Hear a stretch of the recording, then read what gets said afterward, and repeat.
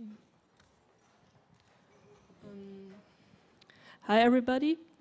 Um, I see that people are still uh, coming in and out, but as we're already running a little late, I'd like to, to start this panel. Um, my name is Judith Hackmack. I'm a lawyer with the European Center for, for Constitutional and Human Rights. And I have the great pleasure to moderate this panel with three uh, really outstanding experts and outstanding persons. Um, to my left, um, Ida Hoffmann, who, um, yeah, after Seema's uh, impressive introduction, is really hard to, to introduce again. But I'd like to, to mention, or maybe to add some, some of the aspects. Ida you're a Namibian activist since, since the 1970s, you're a politician, you have been a member of several um, national assemblies in, in Namibia, but you're also the founder and the chairperson of the Nama Genocide Technical Committee and were among the first, if not the first persons who uh, set the topic of the Ovaherero and Nama genocide, in particular the Nama genocide, on the political agenda in Namibia since the 1990s and, uh, and continue to do so. So uh, to my right is um, Alexandra Kemmerer. Alexandra Kemmerer is with the Max Planck Institute for Comparative Public and International Law. She's there, she's a senior legal researcher, and she's the head of the Institute's Berlin office. Um, most of all, she is uh, a renowned uh, publicist, and she is uh, one of the first persons who, within the German legal community, extensively commented on the relevance of colonialism, on the legacies that are linked to the histories uh, of international law and its ambivalent connection to colonialism. So great pleasure to have you here, Alexandra. And uh, finally, to the right, um, we have uh, John Nakuta. John Nakuta um, is a lecturer with the University um, of Namibia, and he specializes in human rights law, uh, in international law. He reads administrative law, and he's also the media ombudsperson of the University uh, of Namibia, and um, hmm? of Namibia. Apologies. And um, he has worked as a counselor to the Ancestral Lands Commission, and uh, with a strong focus on the human rights impact um, that has been set up by the Namibian government recently. So great to have you here, John.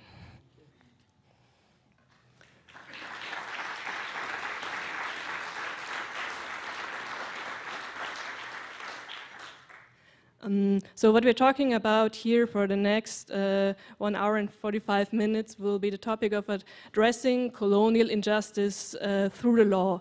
And uh, as Joshua has aptly pointed out, this is an highly uh, ambivalent topic. Yeah, law can be both used as a tool of obstruction. It has been at the core of the colonial imperial project in itself. Um, at the same time, it is used by uh, activists and um, yeah, also activist lawyers to address grave injustices that we are dealing with today.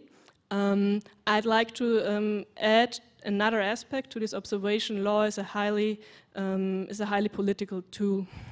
And uh, in the discourse that we are finding ourselves on here, in the Ovaherero and Nama genocide, where there is, for example, recently a certain openness to use this, again, legal term genocide uh, to describe what happened in Namibia, and um, also more broadly to uh, negotiate and then at least verbally acknowledge um, what has been um, what has been done, what has happened um, during the colonial uh, occupation of what is now Namibia.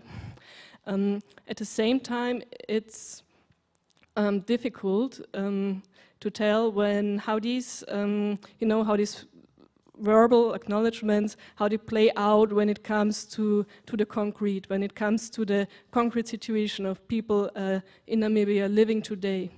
Um, when it comes to uh, coming to concrete conclusions and concrete results.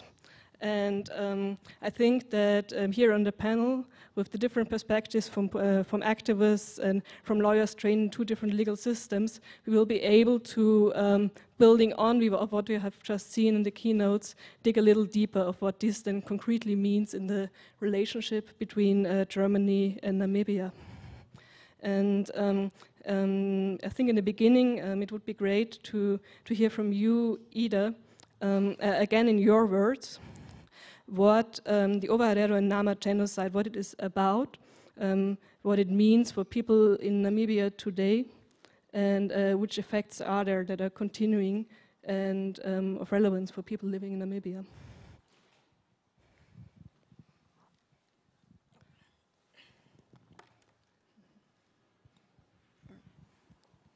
Okay, thank you very, very much, Judith. The first thing that I was expecting that I will give something which I have on paper already directly on genocide and repercussions on it. Now, I would like to start of saying that I am Ida Hoffmann, founding chairperson of the Nama genocide discussion and the chairperson of the Nama Genocide Technical Committee, which means it is a legal registration organization.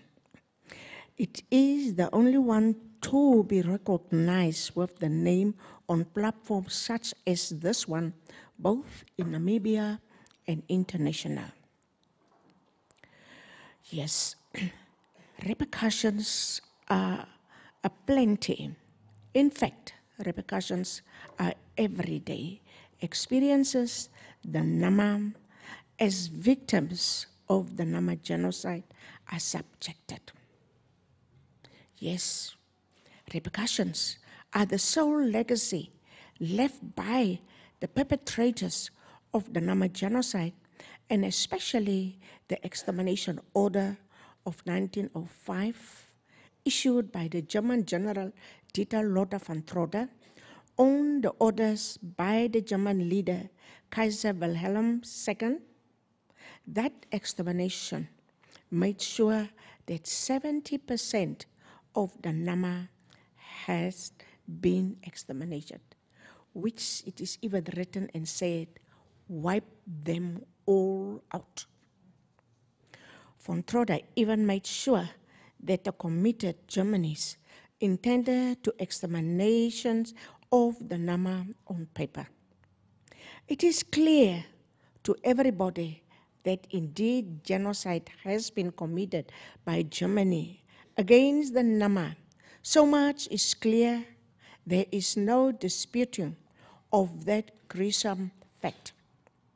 There is no way anyone can proudly get up and dispute or defend such gruesome fact. Every report, every investigation, every research such on the event of 1904, 1908, the massacres, the murders, the rapes, the land dispossessions, the human remains still languishing in the Namib Desert and in the Kalahari Desert they all bring out the damning evidence. Damning evidence continues Kaiser Holocaust by David Olusoga and Casper W. Erichsen, as well as Reinhart Kössler and Henning Melber's Namibia and German negotiation, the past amongst others. They all pinpoint to the past, the destruction done against the victims, pointing out to one deed, and the deed is identified as genocide. Genocide perpetrated by Germany against the Nama and the Hereros. This genocide and additional colonial atrocities have set unspeakable repercussions in motions. These repercussions are on the ground today as deceptive as they are, they still continue the genocide that was set in motions over 115 years ago. Repercussions left behind after the destruction and departure of Germans from Namibia invade every aspect of the life of a Nama victim.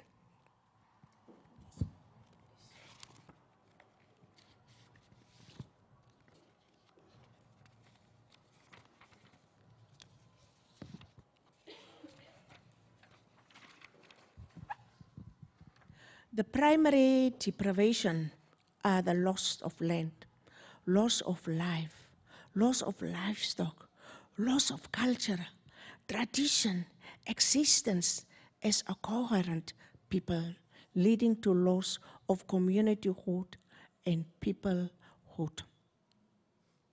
Yes, I like to say the word in Afrikaans and hope will be translated in English. Ons menswaardigheid is gevat en diep diep in die modder gegooi. En ons het ons menswaardigheid verloor. Our human dignity has been taken and thrown in deep down in the drain. We have lost it. We have lost it. The killings and the murders which concur along physical, mental, and physiological abuse at such a frequency and intensity, the victims still have physiological and spiritual shocks as well as wounds. This the victims' community have been carrying in their collective awareness as a people now for over 115 years in their history. Tradition, culture, and presence in their emotions from generation to generation. We are not even acknowledged as human beings in the South. We are just nothing. And that is what the Germans have done to us. And it has continually, even up to now. The trauma of the Nama is indeed inherited. This trauma remains frightening and devastating. It can be argued that this inherited trauma from the generation to generation and its fear is the reason for many dysfunctions in all Nama community across Namibia. There is definitely a strong link. The Nama today are a totally dysfunctional community. Repercussions are plenty. Every social ill and dysfunction known to mankind is prevalent amongst us as victims. The genocide onslaught has destroyed every social principles and means of cohesion. The onslaught has dispersed and scattered the victims all over the southern Africa, from all over Namibia and even to some other parts in Africa, such as Cameroon and Togo. We are talking about repercussions, the consequences of the genocide. Genocide, invasion of the Nama and Herero has left them dysfunctionally and in dire straits in every sense of the word, including weak family structures and therefore very weak families. Alcohol abuse, marital dysfunctions, homelessness, unemployment, political absence in leadership and other positions of power are the consequences of genocide. The Nama have been cut off from all financial generating platforms. The land disposed producing their own income and wealth is non existent. That genocide that was directed against the Nama and Herero is still generating deadly genocide effects against the existence of the group and points to the present day brokenness of the Nama as a people. The Namas are broken people since the day of the German invasion. The nation has been broken down, and that is where reparation come in. Not compensation, reparation. That is where reparation, reparation are called for. You do not compensate what you have broken down. You have to pay it for what you have broken down. You fix it. You repair it. Many victims are on the street, in sex, in prison, and many more undesirable places. It must be thoroughly understood that the genocide, its broader sense, has left numerous victims behind and is still in process of claiming more victims.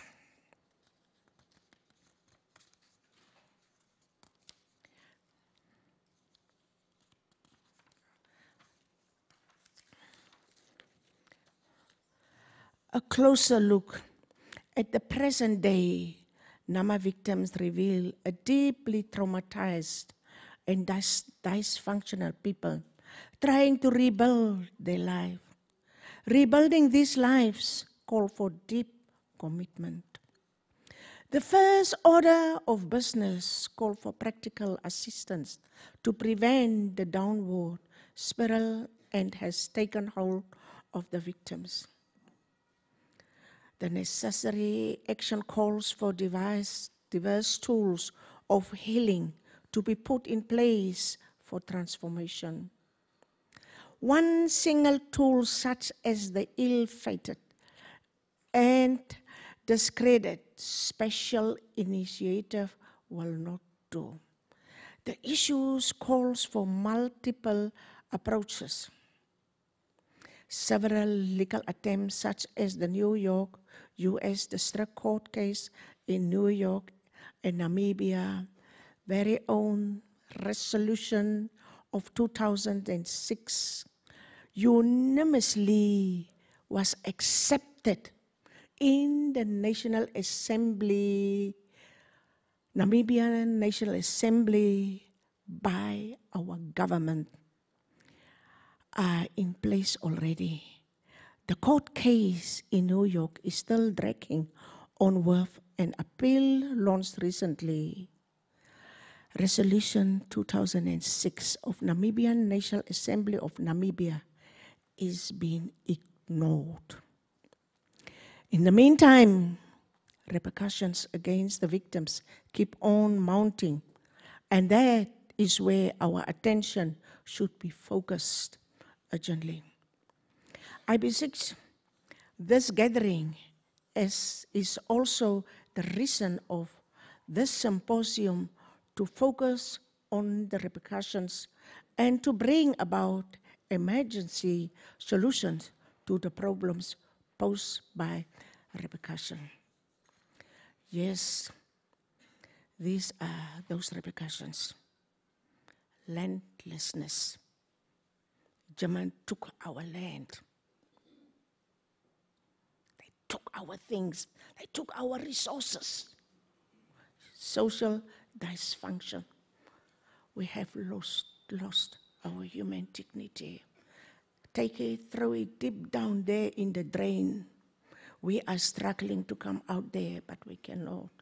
Only it can be with your help. High HIV rates of infections.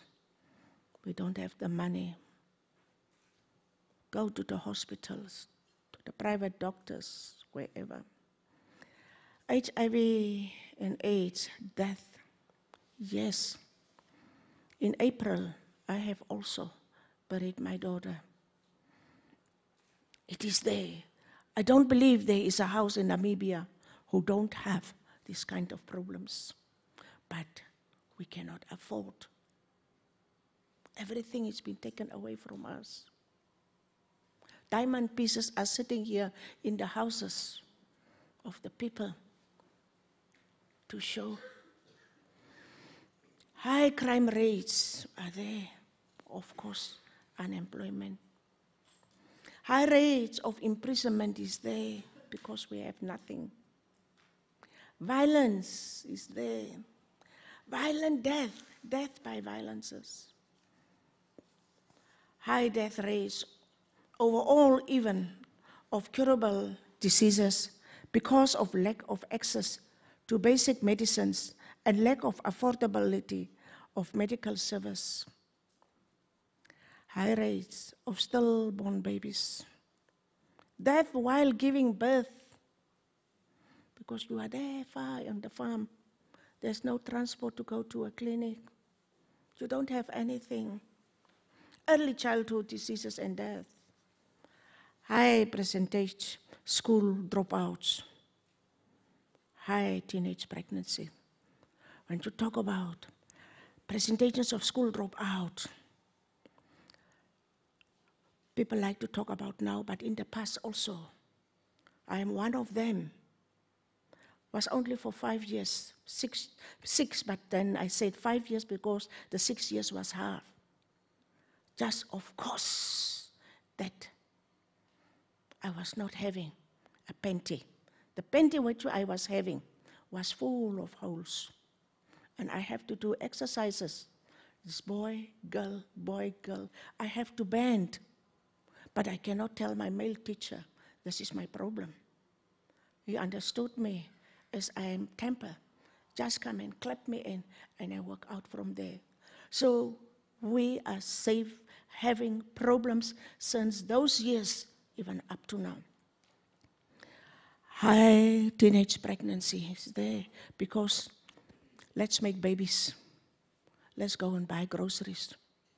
Those are the language how our young ones will be misused and have been misused.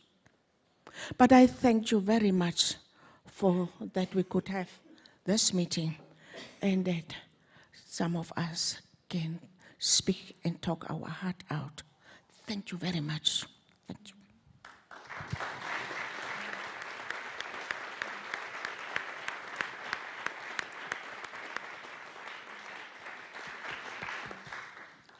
Yeah, the thanks go back to you, Ida. Um, John, we um, we have now heard from already from several speakers about uh, the topics of transgenerational poverty and also of land dispossession as, as a complex colonial repercussion. And uh, I know that particularly in Namibia there is a um, quite heated and vivid land debate going on right now. And uh, also in this debate, uh, the law um, is used uh, by all sides um, to um, put forward their arguments. And um, I would be pleased to hear from you your stance um, on this ongoing debate and uh, the law, the role the law is playing and that lawyers play or maybe should play in this context. Thank you very much, Judith. Yes. Thank you so much. And again, for the organizers, uh, thank you very much for the invitation. Um, as was mentioned in the introduction, my name is John, as you can see, John Nakuta. Um, I had a privilege. Our president, in the beginning of February, appointed a commission to inquire into the issue of ancestral land in the country. And to my surprise, I was asked to be one of those uh, the lawyers that they wanted to contract to assist them in trying to understand the ancestral land issue from a human rights point of view. I'm saying I was very surprised because we had our second land conference uh, in November last year, and I was very critical about how the government, our present government, is addressing the issue of ancestral land. And to my surprise, uh, they asked me to join them to better understand what is the legal position of ancestral land under international law, and then of course whether our, whether our domestic laws make provision for ancestral land. Unlike South Africa, that took about, about five, six years to sit down and to write their constitution, through various participation.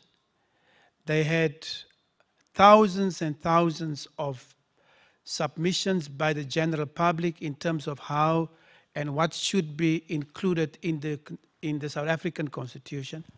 Ours was not like that. Our Constitution was written in a record period of about two months. Um, and the then chairperson of our Constitution, Constitutional Assembly, its Constituent Assembly, Constituent Assembly, uh, our present president, Hage Geingob, is very proud that we took such a short space of time to write our country's constitution. Why did it happen? Is because, and I'm coming to the point what you want to ask me, that you ask me, um, because we were given a template by the, what is that group? The Western Contact Group, consisting of Germany, Canada, France, and the fourth one, the US. They gave us a template of a constitution. And that template emphasized, put emphasis on civil and political rights. It was, and it is totally silent on the issue of economic, social, and cultural rights. But also, very importantly, that template put tremendous emphasis on property rights. Article 16 of the Namibian Constitution provides for, rightly so, private property rights. But unlike the South African Constitution, which also provides for property rights, the South African constitutional writers, they realize that their people suffered land dispossession.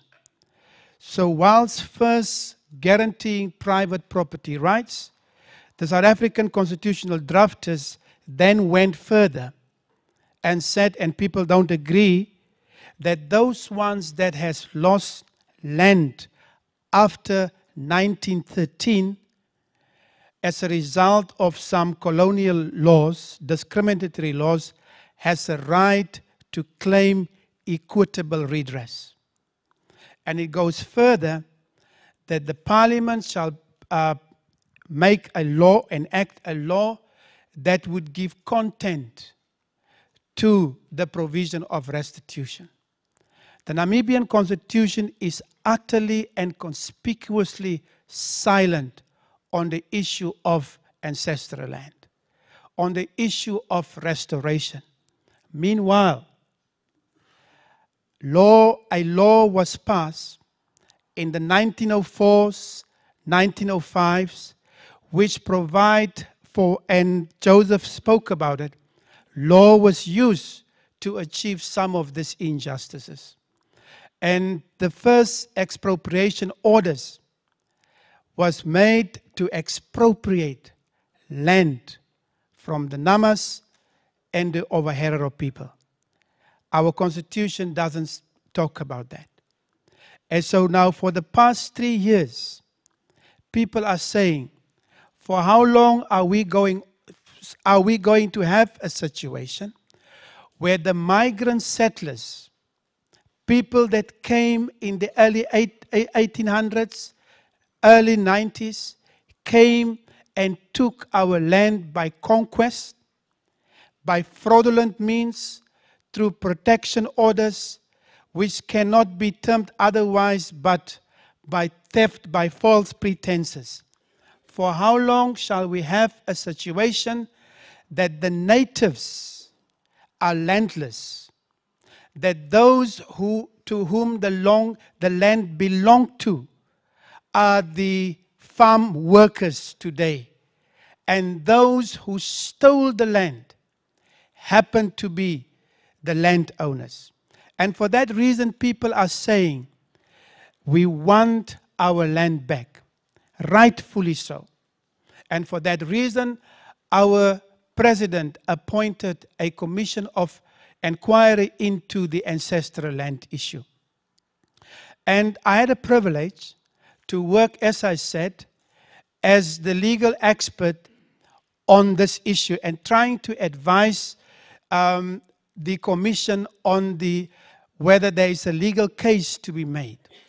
And of course, we know international law, at least through Convention 169 of the ILO, as well as the United Nations Declaration of, uh, on the Rights of Indigenous People, UNDRIP, expressly recognize that indigenous people have their rights to the lands and territories that they previously owned or occupied. And we are using this notion because um, the African Commission on Human and People's Rights, as in two cases in particular, the African Commission on Human and People's Rights has used the UNDRIP to, to, to find that Kenya has violated the rights of the Endorois people by evicting them from their ancestral homes. Likewise, in 2017, the African Court on Human and People's Rights has used similarly the UNDRIP to find that Kenya has violated international law by evicting the Ogiek people from their ancestral land. So what we're saying, in Namibia we've got the problem that the biggest problem in addressing our ancestral land issue lies in our constitution. Our constitution, as I said, overemphasizes the issue of um, private property and is conspicuously silent on the issue of re, uh, restoring the, the land that people got. Before I conclude, the Commission, in their way to try and get information from the people, conducted uh, various public hearings Wolfgang mentioned in the beginning that our compatriots back home from the German and the Afrikaans community usually doesn't participate. And this was exactly the case.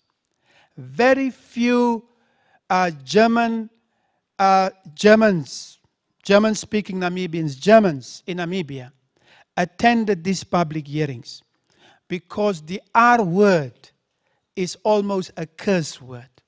The R word meaning the question of reparations. But people are saying, and I totally agree with uh, Joshua mentioned.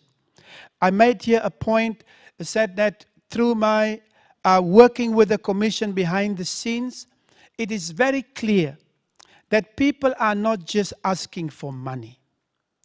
And as he said, people are asking for reparations, and in terms of international law, compensation is but just one of them. From the submissions that was made by the people to the commission, people are asking for restitution. Give back our land. And if it is not possible, pay compensation.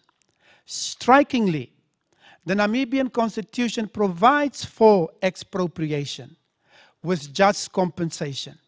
However, not once has it been used to take land from the people so as a way to receive to achieve restorative justice. And this is the point that you've made, the question of political will. In Namibia, in, in addition to the fact that the law does not currently, as it stands, expressly provides for um, restitution, there's also a lack of political will. We've got land programs. Uh, one of our land redistribution programs is the resettlement program. But in the resettlement program, the people that has lost the land through genocide and through uh, other colonialism, because in 1955, uh, on one fateful day. The South Africans came, they bundled the San community that was staying in Etosha Park into or onto the trucks and they instructed them to just get out of here and drop them immediately out of outside the park. Today, as we speak, the San community is amongst the poorest of the poor. In the name of convers- uh, uh, conservation, Namibian government is doing exactly the same. We've got uh, one of the other San groups in the Bwabwata National Park, somewhere in our Zambezi region, the former Caprivi, Western Caprivi region. As we speak, the government is telling the Khwe community to get out of Bwabwata National Park. So it's, we are dealing with a situation that the government is not sensitive to the historical land injustices that was uh, suffered by the people. So basically, in conclusion, basically what I'm saying, people are asking for restitution, they are asking for compensation, they are asking for satisfaction. Apologize to what you did to us. Raise monuments giving recognition to some of the people that got killed in the genocide and um, also through other means. And do some rehabilitation because, as Ida just mentioned, the nation has been traumatized by the genocide and the land dispossession that they suffered. And people are also saying, in conclusion, we want there to be a guarantee of no repetition. Because to paraphrase Nelson Mandela, when he delivered his inaugural speech, he said that never again will such bad things that has happened under apartheid happen in a new South Africa. And this is the kind of commitment that people want the Namibian government to make with the assist, of course, with the collaboration of the German government and all those things. And for the German government, I want to use this opportunity. It's not charity. If people are asking for compensation, it's not because they are poor Africans. It is because their rights has been violated. I said it in March in Namibia, and I want to repeat it again. Do not conflate do not conflate the development aid that the German government is giving to the Namibian government with reparations. It's two different things. Thank you. It's two different things.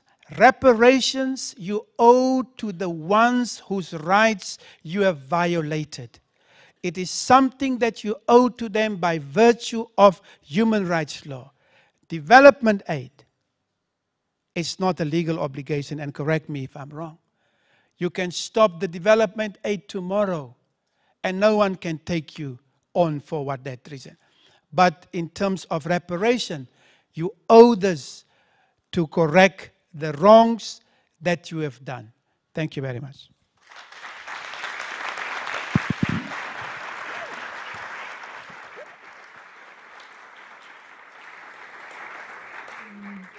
Thanks. Thanks a lot, John. Uh, Alexandra, I'd like to, to take up a notion uh, from John's contribution, the notion of the conspicuous silence. Um, when it comes to uh, the, the, German political discourse and uh, the legal discourses in particular, for a long time um, there was um, not much discussion at all about either the colonial past, the repercussions, and the entanglement of present-day international law with histories of, of, colonialism. And I believe Reinhart Kössler even coined a term for this colonial uh, amnesia. Um, and so, um, is there still a colonial amnesia uh, within the German legal discourse today? And if there's something changed in, in how far?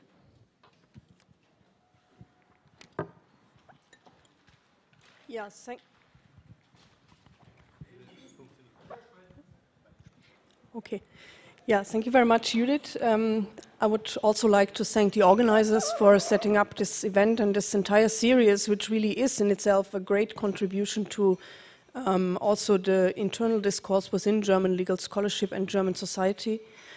But I would first of all, all, all, like to thank all of you who participate here today, and in particular the participants who came from Namibia for sharing your testimonies, your memories, your also your grief, um, and for really enabling and facilitating a broader transnational discourse on these topics, which goes way beyond the limits of the law, because the means of the law are limited John has written a wonderful short contribution in the publication that uh, has also been released today, which is also a major contribution, I think, to the entire debate that we are uh, having here.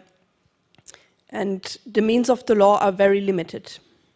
And as Wolfgang Kaleck said in his introductory words, it's a shame that lawyers still need to discuss the de decolonization of the law.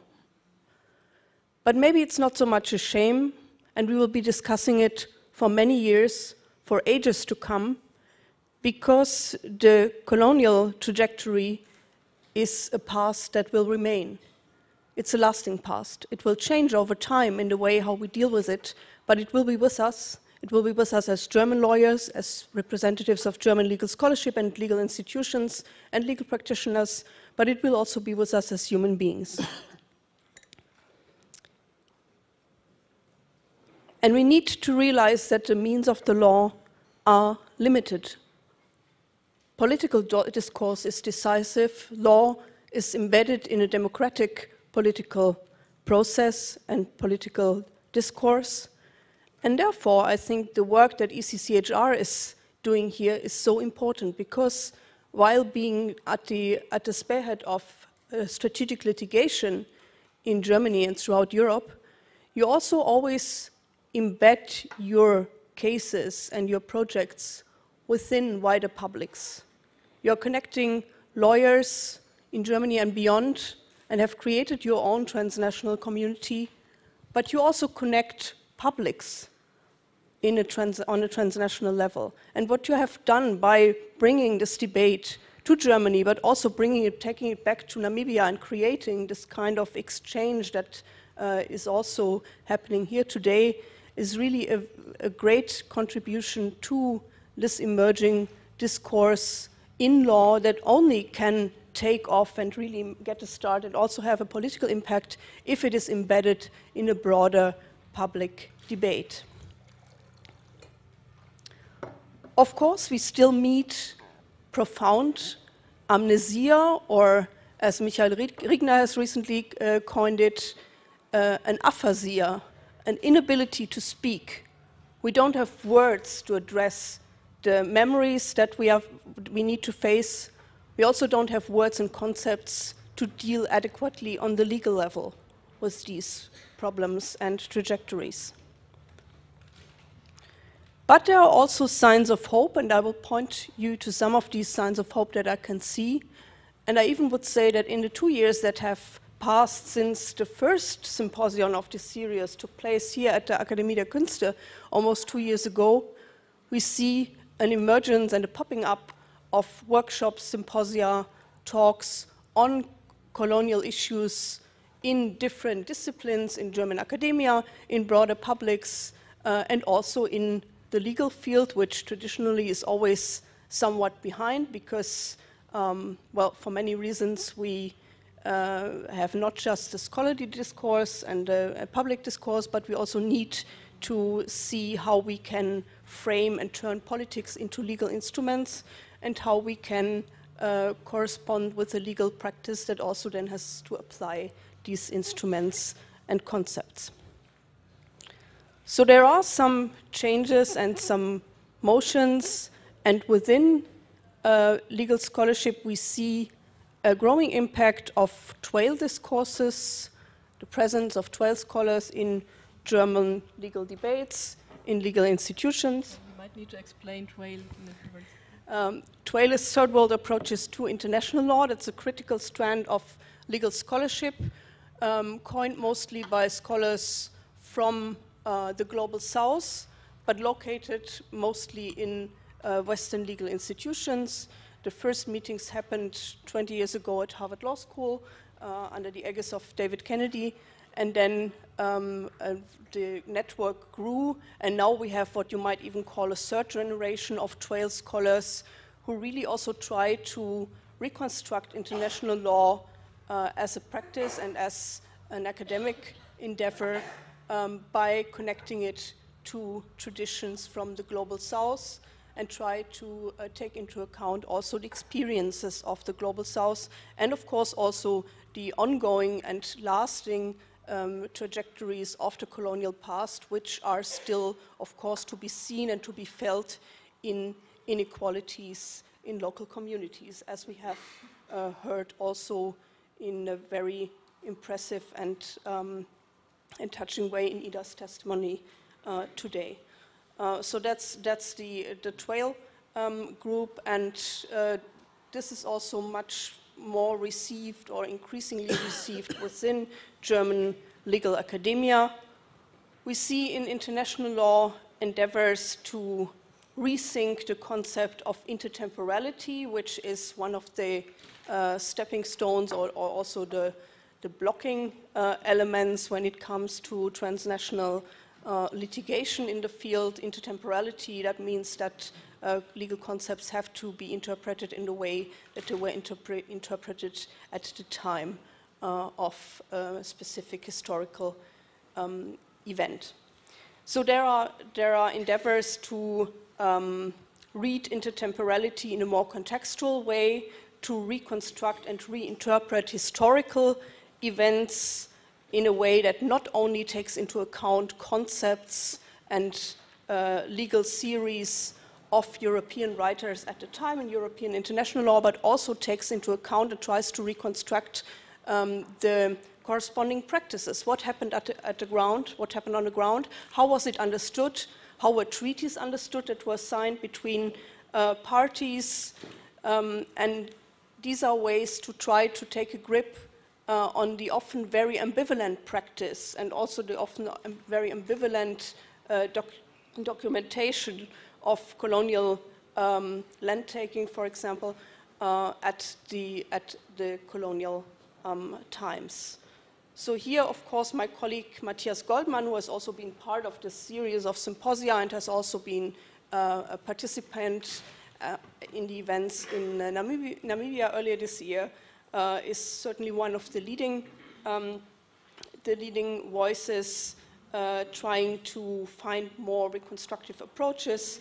Um, another more important voice, uh, sorry, uh, is certainly Mamadou Hebié, a, uh, an international lawyer based at Geneva and also a, a clerk um, and a researcher at the International Court of Justice who, um, who tries to develop a hermeneutical um, approach to, uh, to historical events in international law um, by taking into account the materialities, taking a more ethnographic approach and look into uh, the historical events from a sociological point of view. Um, and his writings also have some resonance within, even within German uh, legal scholarship. There is also a debate about the the question of legal standing, the question of who speaks for the colonized. Jochen von Bernstorff, um, who is also part of a number of projects in the field currently, and one of the important voices in international law in Germany dealing with um, post-coloniality and colonial law and the colonial repercussions within um, law and, and, the means how to deal with these colonial repercussions, has just published an article um, together with uh, Jakob Schuler in the Heidelberg Journal.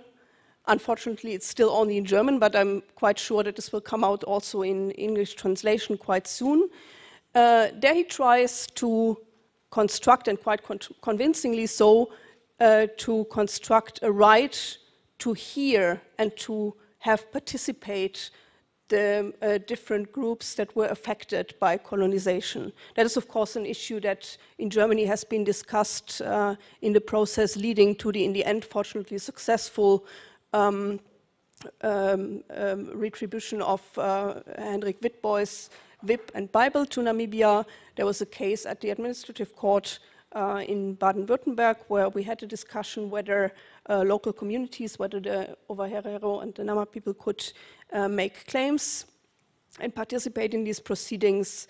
And uh, this has prompted Jochen von Bernstorff to develop an approach that from, um, from human rights law and from sources in uh, uh, the human rights law on the rights of indigenous people uh, constructs also an obligation under international law um, by colonizing states, former colonizing states, to create means and ways and procedures for participation for the people that were affected by colonization.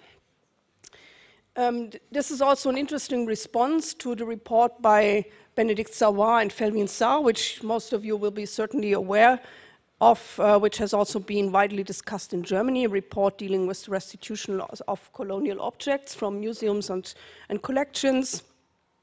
A very important political intervention, I would say, but on the legal level also quite disappointing uh, document because uh, still the, the report speaks only about state-state obligations, so it's only states that can claim restitution of colonial objects, and also the, the entire set of legal technicalities uh, remains somewhat in the back of the entire document. And of course, this precisely, this precisely is the point where we need to discuss more.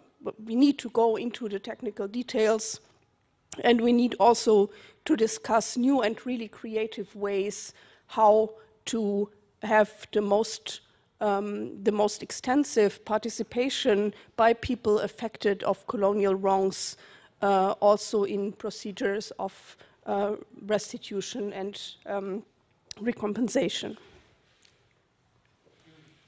So there's still much, much to do. I don't want to go further into legal technicalities and details, but I would like to add, and this is really my response also to Judith's initial question, um, a kind of my own testimony.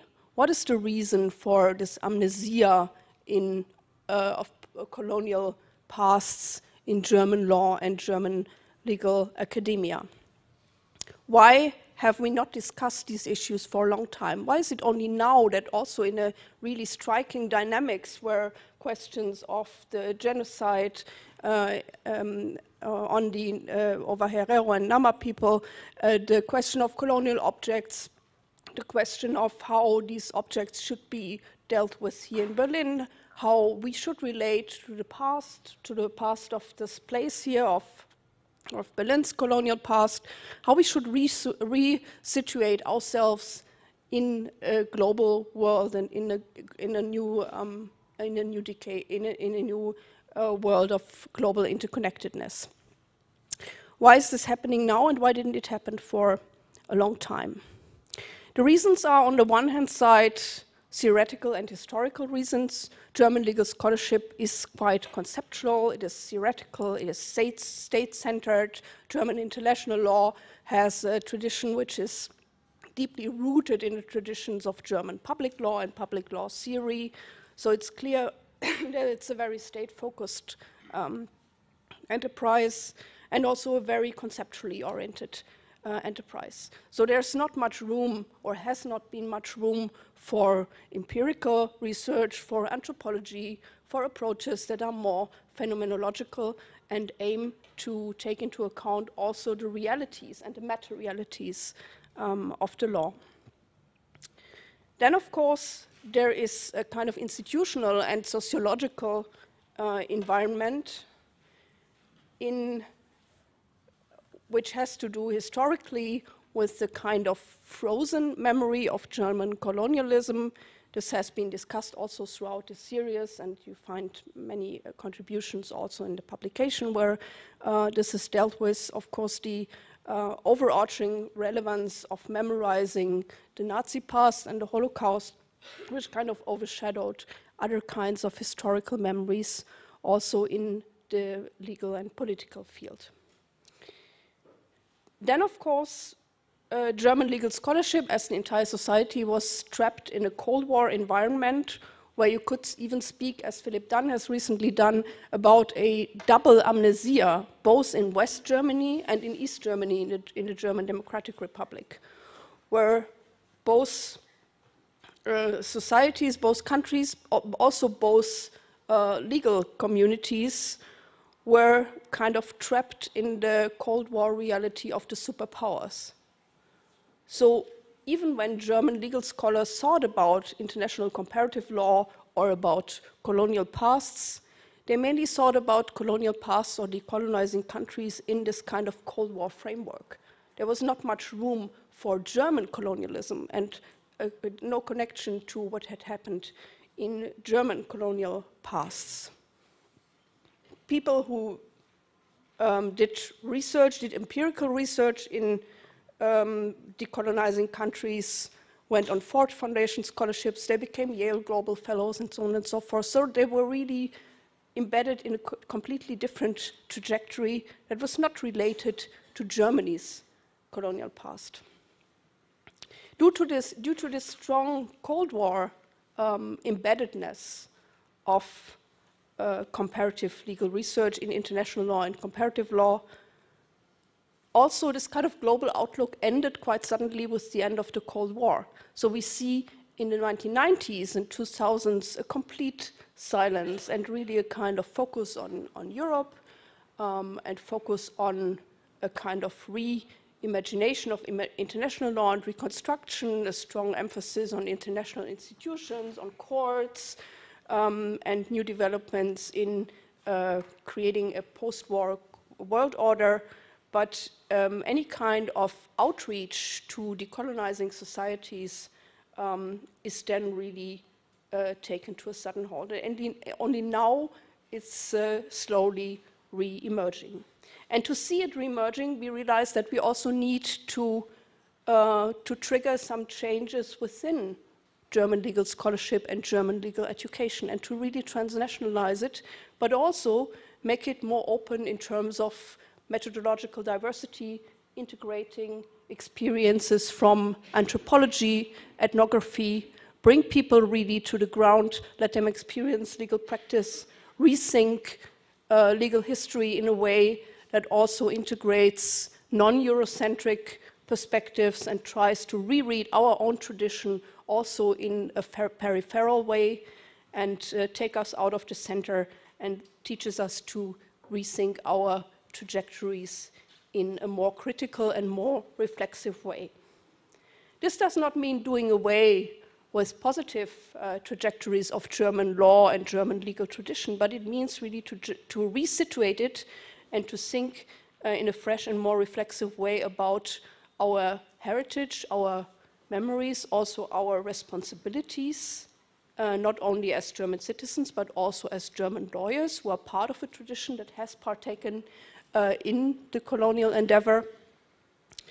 And it means also to open up to exchange with legal communities throughout the world, but also with citizens throughout the world, and to share our positionalities, uh, our trajectories, to talk not only about the concepts we have and the legal opinions we have, and to be defensive or be apologetic, and I hope this, what I just said, does not sound apologetic because I think it's really meant to be, or it is a contribution to an enhanced um, transnational discourse where we try to create an intersubjective understanding among lawyers, among legal communities, among lawyers and politicians, but also in the end among our communities um, and uh, ourselves as global citizens. I want to leave it with that. I hope that was somehow an answer to your question, and I'm looking forward mm, to Absolutely. further questions. Yeah, thank you very much to you and Alexander. And um, actually to the to the three of you for um, giving us such a both very broad but also very founded and very deep introduction into the complexities that we face on a political and legal level uh, when we start try to start with this endeavor of addressing colonial uh, injustice through the law.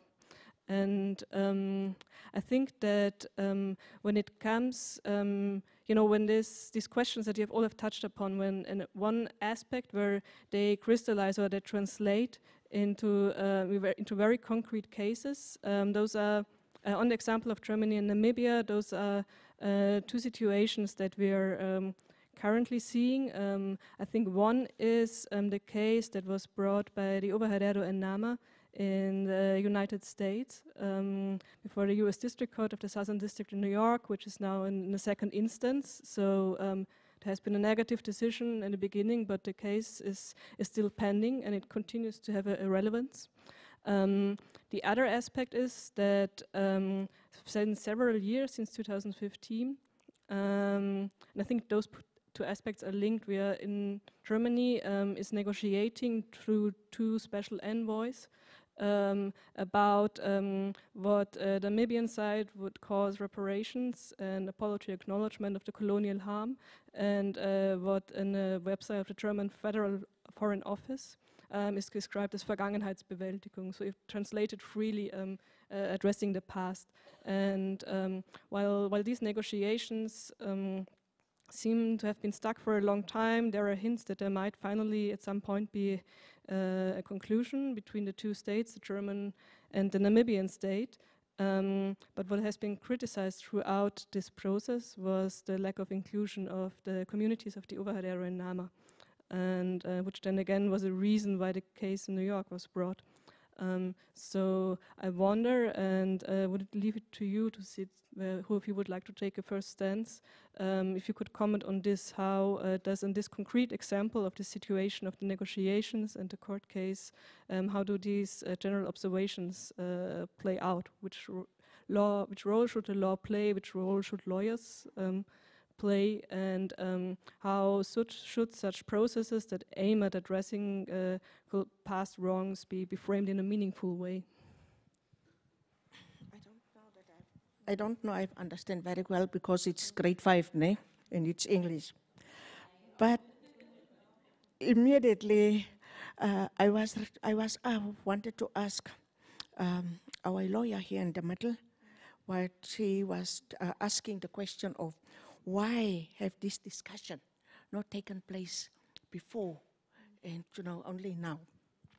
And I would like to answer that part to say that um, it was the Germans up to 1915 where the South Africans came in. And even when the South Africans have came in, there was no way for us to talk about genocide. Uh, and it is now after independence, 1990, when uh, Namibia got its independence, and then with the first Land conference. I was thinking even if I could bring the documents together with me, but then it was the 29th June where I decided to call our Nama traditional leaders together special the Bondelswarts. That was at my kindergarten in Katutura. And they, they came there for the land conference issue. And I took it up with them because I, it was in my mind for many years where my grandfather was asking me to take to come in in this discussion of, of uh, uh, this genocide issue. But for me as a SWAPO, I was always saying, no, that is tribalism, and that is that is that, and that is that, and that is that, not to be involved. But wonderful, 1991, I studied. And that is with the Namibia community. Secondly, 1992, when one lady, Linda Garabawa, invited me asked me to join the discussion with the Namibia Dutch Stiftung have organized and wanted to talk about cultural programs. I said, that meant we cannot talk about cultural programs because what you have done to us, your ancestors have killed our ancestors. And it is now time that we must talk about genocide. They tried to push me there in a corner, wanted to, I must tell how much money we went. I said, that I cannot take that decision. That is from the traditional leaders. We must come together. I went to my traditional leaders. Okay. And nothing has happened. 1999, I called them together in Keetmanshoop, together with the people also. And we talk about it. But immediately, you know, to stand up and go to the government, although it was not there, but it was in all the newspapers and everything. It was there. 2006, I was in Parliament, where late Chief Kuaima Riruako brought the genocide motion in Parliament. And he was talking about on behalf of the Hereros. Lucky enough that I was there. And I could also stand up and said, but what about the Namas? The Namas was also killed. And then the discussion goes also in parliament. And if it goes in parliament, it means the TV is there. You know, the nation start hearing what we are discussing. And the interests of our people have come in. I brought the Hereros and the Namas together in my, my house on my front stoop. And that was with late Chief Kuaima Riruako and late Chief Fredericks. And we come together and start talk now, where they have also decided and have done to write the memorandum, sign the memorandum. Um, that is how we are coming on, on, and even up to now that we are, we are busy with this, where I am even also busy now with a memorial park, a museum, because when the, the Bible was also being asked and, and so on, I am the one in all the medias who was asking for bring back the remains, the skulls, all the artifacts we are there. Bring back the Bible and the whip of, of, of uh, uh, Hendrik Witbooi.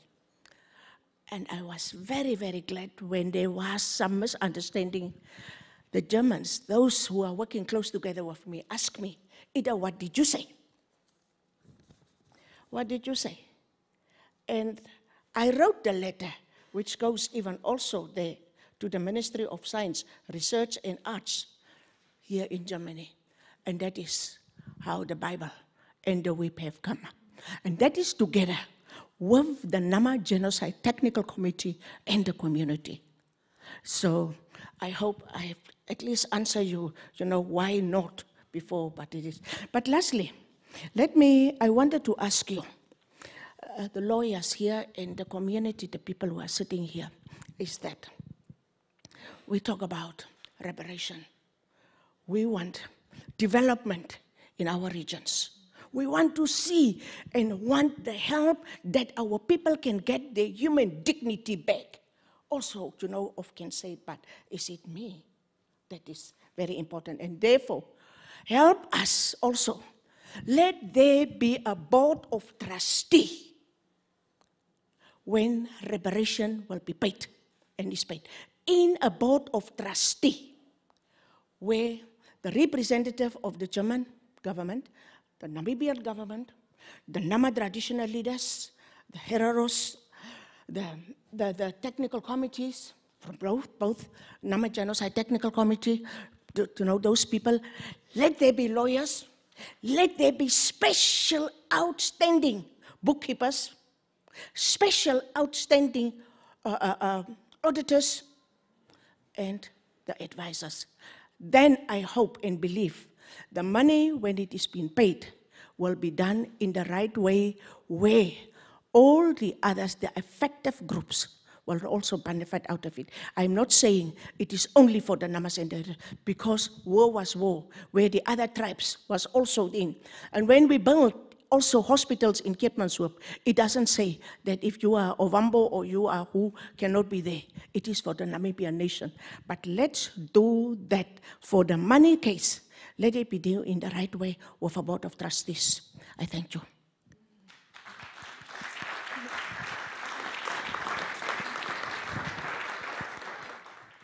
Yeah, um, think um, this is actually a good place to um, to turn to questions, and I would um, or reactions. Um, and I would first um, want to open uh, for questions within the panel. So, John, if you would like to make a remark or react to this, it would be great. I want to re uh, react to what Alexandra mentioned, the right to be heard, and the issue of participation. Um, very sadly, in August, our High Court threw out a case uh, that was brought by the Hai||om community. I, I, mentioned in 1955, the Hai||om community was thrown out of Etosha. So eight people from this community went to our court and asked the court to allow them to bring a case for the restoration of their ancestral land at um, on behalf of the whole Hai||om community. The issue of locus standi that you've mentioned. One of the sad realities of Namibia, our legal system, is that we are, approach, we are having a very narrow approach, very restrictive approach as to who can be heard by a court of law. It is only those that are directly, substantially uh, affected by the outcome of a legal matter. And you cannot claim to bring some a, a, case to our court in terms of our standards of locus standi in the name of the whole group. You will have to go and get proof of all those people whom you claim to be speaking on behalf. And for that reason, on technical grounds, the matter was thrown out because the eight activists that gave the government about eight options. Give back Etosha to us. If not, let us share in the royalties. Give, pay us royalties because you are getting such a lot of money. They gave the government eight options, but those eight options were not even looked at by our courts, simply because the issue of locus standi, which is very narrow, and that is a challenge within our legal system. On the issue of participation, Namibia has, at least for the past three, four years, been under the microscope of the UN treaty bodies. Uh, with, when it comes to the issue of indigenous people's rights.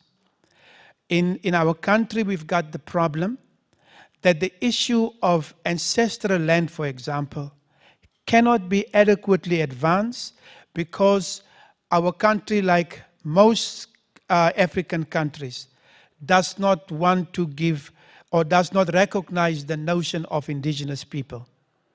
The argument is that all blacks are aboriginal, are indigenous to Africa. So it is divisive to talk about indigenous people in the African context.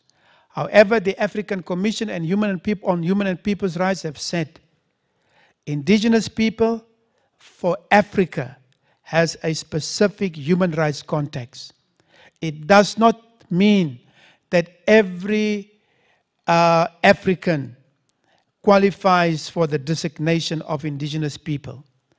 Uh, it is those ones that are having a special bond with the land, those ones that are usually dominated by the, uh, subjected by the dominant groups in their society, and, and for that reason, all of us are not. So it is for this reason that I'm saying um, the focus of the UN treaty bodies. In fact, on the 11th of December, Namibia is supposed to um, give a detailed report to the, commission, to, the, to the Committee on the Elimination of All Forms of Racial Discrimination at the UN level, the treaty body, in terms of what they are doing in terms of getting the indigenous people to participate in, in issues that affects them. To what extent has Namibia gone about to give title to the land that these indigenous communities and populations have lost. So there are some signs of hope, to use your word. Thank you very much.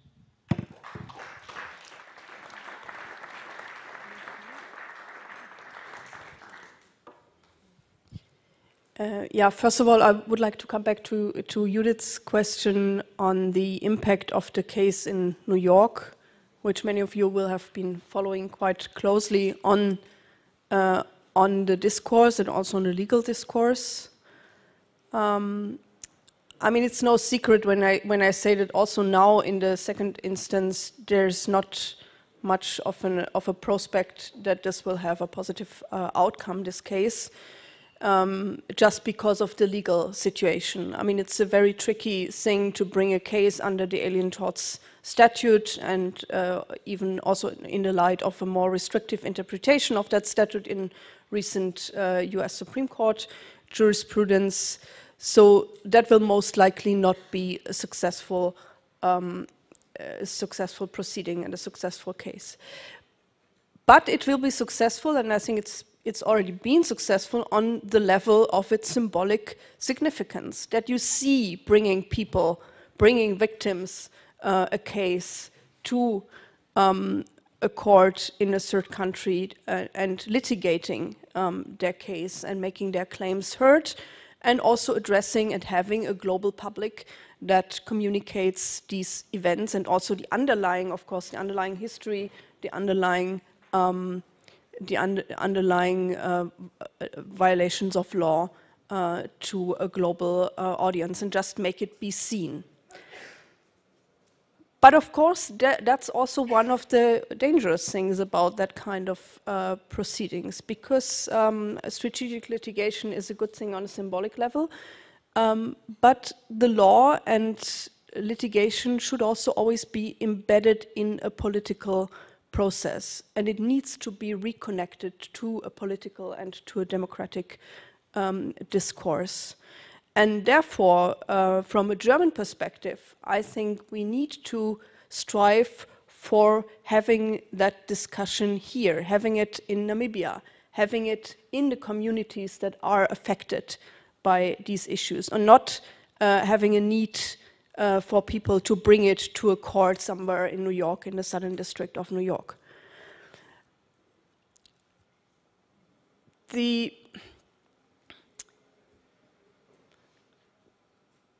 I can, I can understand your impatience with the slowness of the legal process. And of course, we all would be better off if we would have adequate legal means and a legal language and instruments and procedures to deal adequately with our shared and at the same time divided past. But the law is a slow thing. And I also understand when we have heard um, quite sharp critique against the German govern government throughout this afternoon. They don't hear us, they don't see us, but the government is also representing a society. And it's representing a society where we also have deeper and ever-growing divisions within society.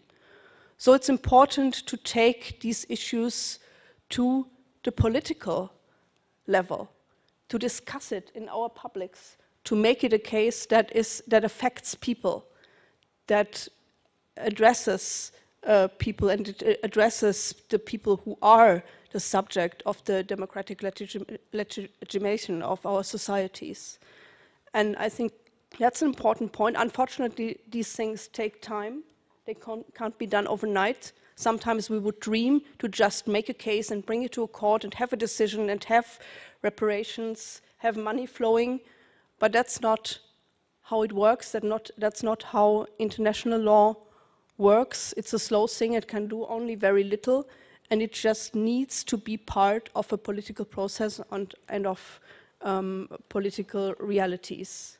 And I'm confident that we bring this ahead step by step. We have heard that also within Namibia, there are many difficulties in um, addressing the, the, the, problems of plurality within society in an adequate, uh, in an adequate way.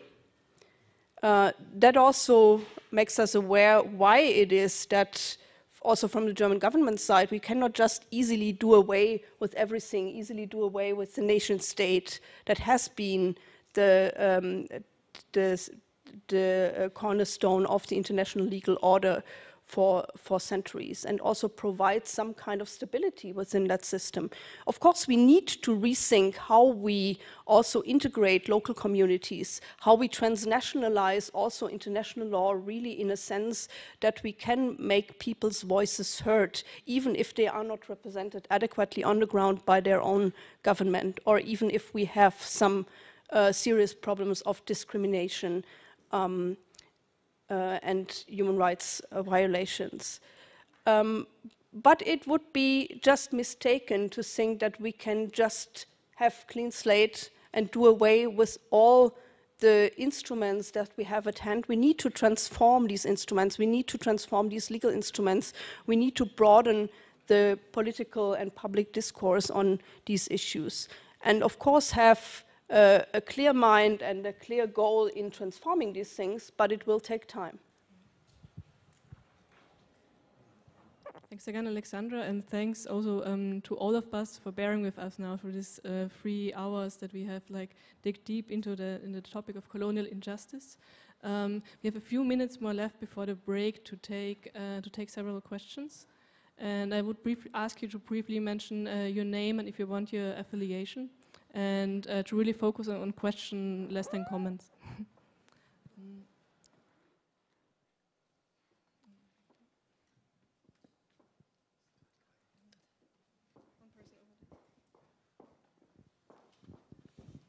Thank you. My name is Michael Ojake. I live in Berlin. I'm an actor. I'm a writer. Um, my question is to uh, our mother here, Ida Hoffmann, and my brother, John Nakuta.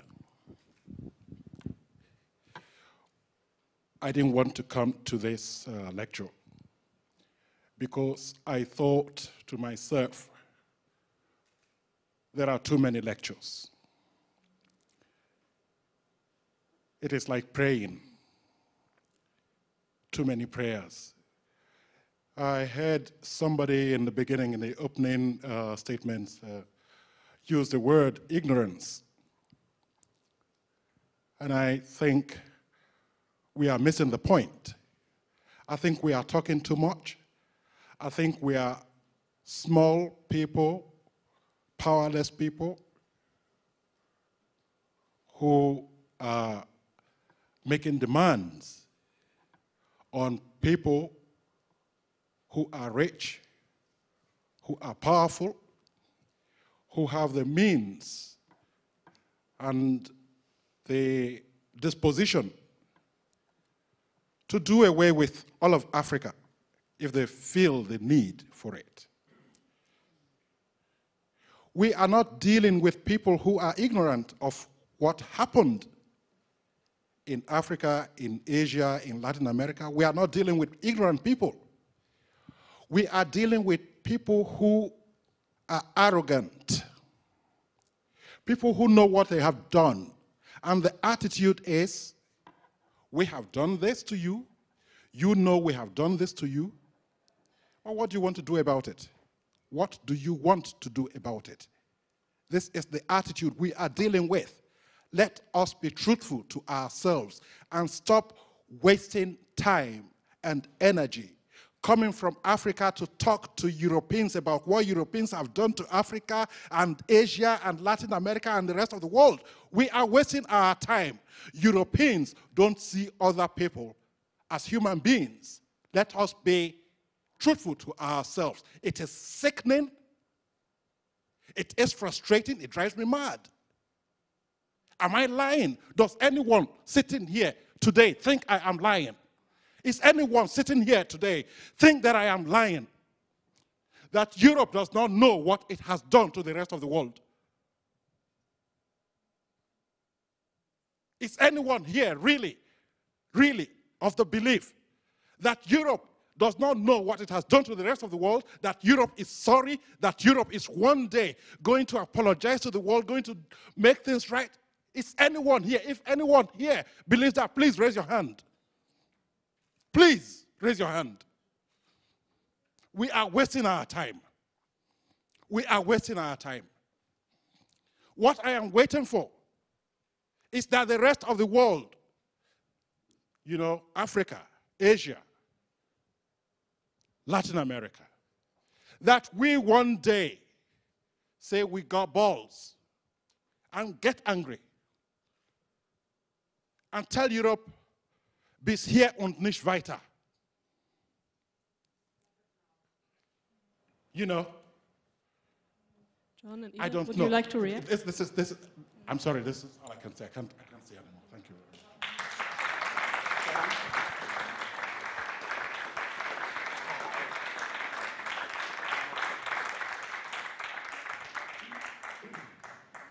My brother, I can hear your anger and I understand your anger.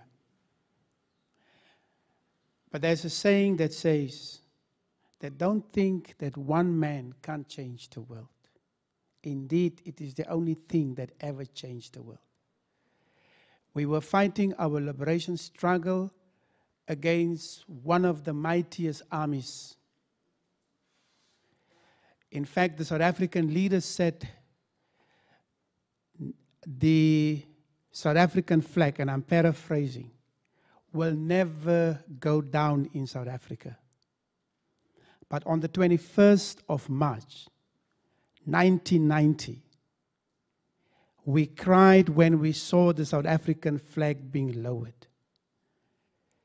We were fighting against those mightyful, those powerful, the same for South Africa.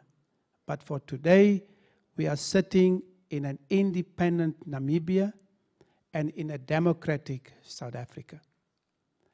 I actually appreciate the consciousness that is being um, cultivated amongst the Germans, because unlike in South, unlike in Namibia, where the local German population does not support, they don't want to hear about this. At least here, I get the sense that people want to begin to understand. And through that, can also then exert their own kind of pressures on the German and other colonial powers. So I don't, I don't agree with you that we are small people, that we are powerless people. I'll give you another example that happened yesterday back home. Two weeks ago, we've got a problem of corruption in Namibia. You might have seen the documentary of the Fishrot files.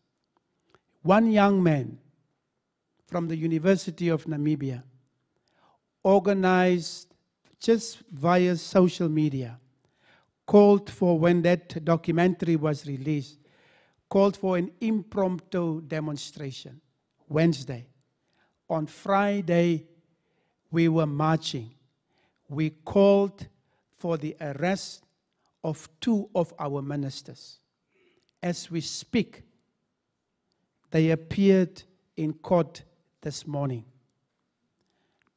Don't you say that one person cannot change the world. Indeed, it is the only thing that can change the world. That's my words to you.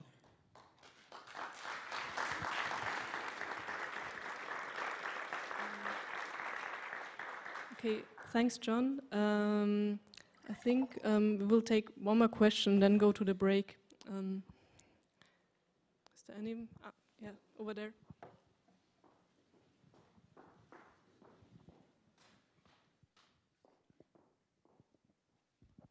Yeah, hi, I'm uh, Yashar. I lived in Namibia until May, uh, working for the Friedrich Ebert Foundation, but I'm not working for them anymore and just live in Berlin and um, kind of figuring out what to do next.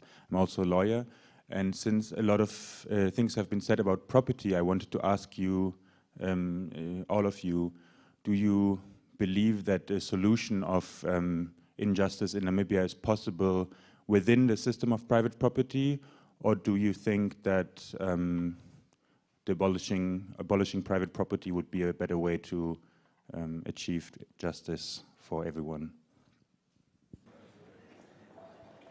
No, we cannot abolish private property. Because then it means you cannot, the cell phone that you are having would be abolished because then we won't have those things. So now, and as I said in the beginning, and, we, uh, and we've got case law that actually confirms that. Uh, the notion that the property clause in our constitution only provides for private property, the Western notion of private property, has been dispelled by the African Court on Human and People's Rights in 2017. In 2017, in the Ogiek case, the African Court on Human and People's Rights said that property means both individual property as well as collective property. So, what needs to be done, um, the clause property must be interpreted in a broad, ev ev evolutionary, and purposive manner so as to accommodate uh, group rights of indigenous populations and communities that owns because uh, for Africa, the notion of private property is actually a it was something that was introduced through the colonialists.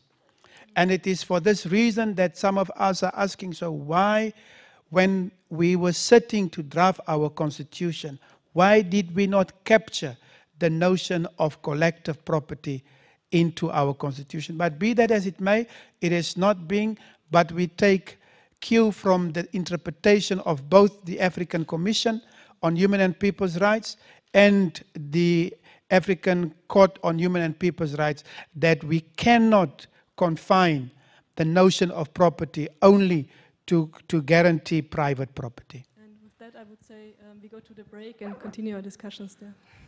Thank you very much to all the panelists.